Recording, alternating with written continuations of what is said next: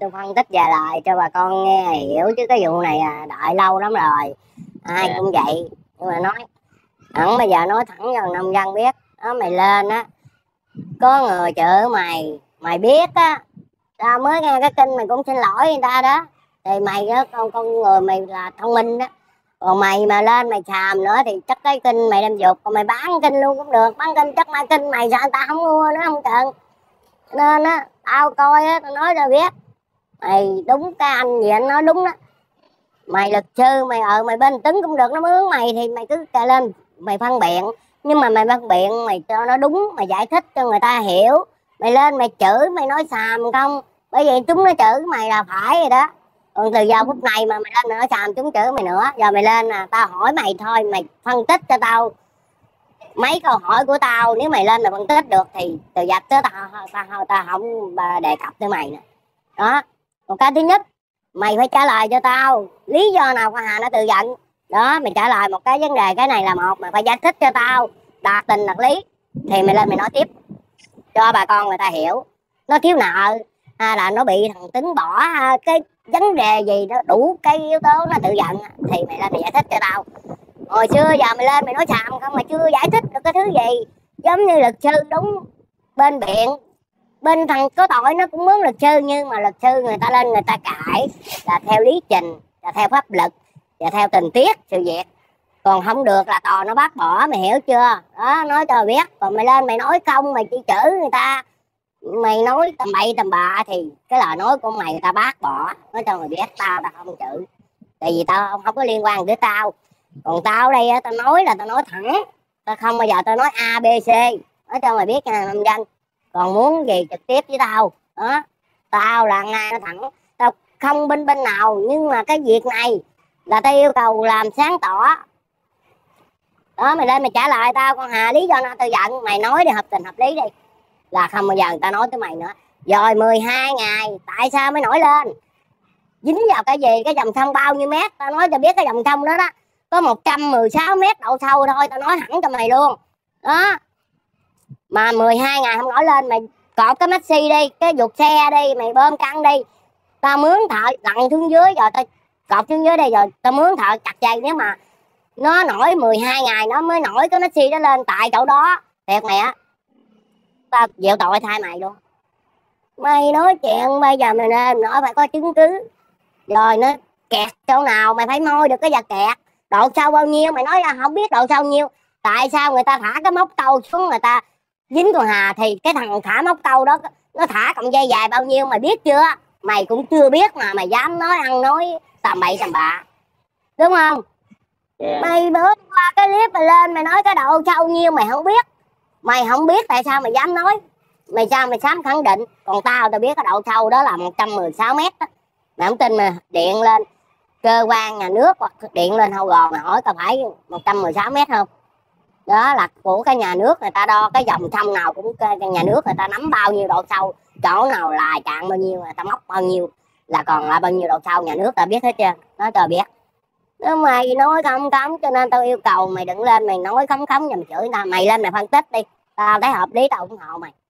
Mày ai người ta cũng làm đúng làm trong việc này thì ai cũng kiếm like kiếm, uh, hết kiếm cuộc sống người ta hết trơn không ai đi làm không đâu mày luôn hả? Mày cũng vậy. Nhưng mà người ta làm đúng, người ta ủng hộ.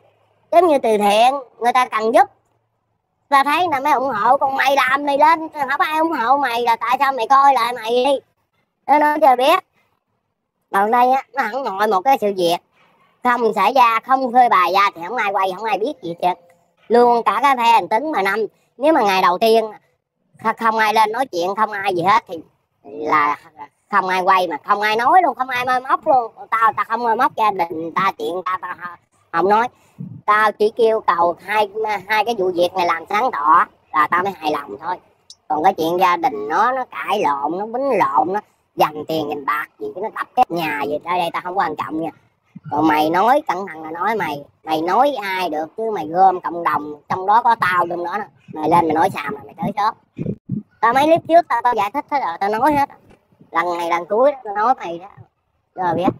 Vậy là mày mày đừng có nên xin lỗi rồi mạng mà mày chửi người này người kia. Mày đừng ông mình nói chuyện với phụ nữ đừng bà phải lịch sự. Đó là người ta mới tôn trọng mày. Mày lên mày nói gì uh, xàm nói tục. Mày kia người này người kia ta cũng con, người ta cũng đàng hoàng. Chừng nào ta nói bậy mày chỉnh ta ở cái chị cái chỗ này là chị nói bậy đó em không đồng ý. Là mày mấy con người lịch sự mày dốt mà mày cứ ờ mày, mày mà hồi nãy tao cái lớp mày công nhận mày nông dân mày không biết. Thì mày không biết cái gì mày không biết mày đừng lên mày nói. Mày lên mày nói làm chi? Cho chúng chửi. Còn cái gì mày biết? Ừ em biết cái đó đó em lên em nói đó mấy anh ơi. Mày không biết thì mày ngầm mày nín cái miệng mày đi. Nói trước. Giống như tất cả vấn đề. Thằng tấn không nói bà năm không nói anh còn hà không nói không ai nói hết thì không ai biết. Chính cái miệng tấn nói chính bà năm chính gì mười còn vậy tất cả cứ lên đây nói thì cái chỗ mình nói thì ta mới nói mình không nói mình câm ai nói đúng không? Ê, cứ lên cứ không hiểu biết cứ lên giống cái họng lên mày cứ giống cái họng mày lên cho chúng chữ không? Rồi người ta chữ mày đó mày đi xin lỗi người ta. Xin lỗi người ta cho, nên người ta còn chưa hài lòng. Mày không làm sai mày không xin lỗi. Mày phải có làm sai giống như ta anh đang nói đúng.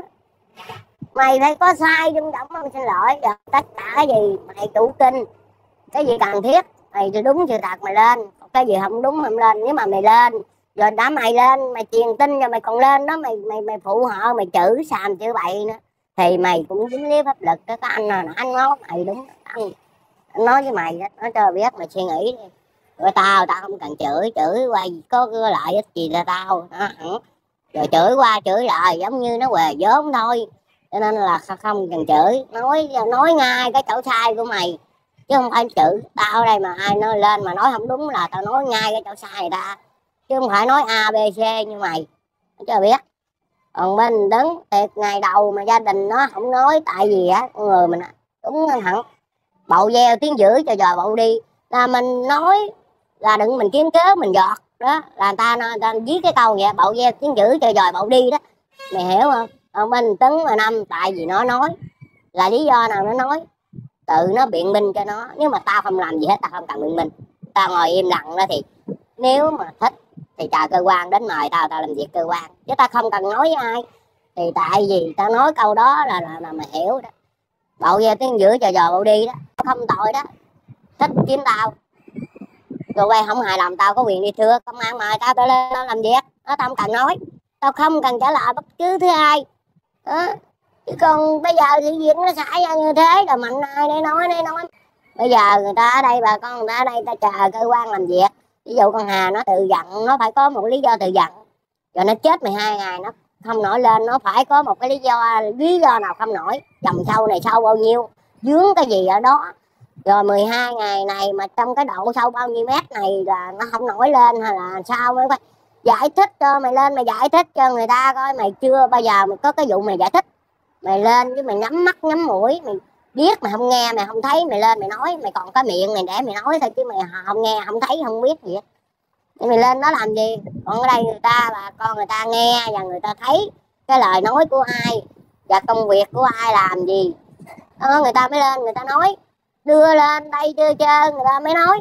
Con mày mày mày có mắt mày cũng như đuôi mày có lỗ tai mày không nghe mày không biết. Mày chỉ còn cái miệng mày để mày nói mà mày nói bậy đó tao nói thẳng một câu với mày đó. Mà mày lên mà mày đụng trăm cộng đồng là tao chửi mày nữa. Mày lên mày giải thích đàng hoàng cho tao.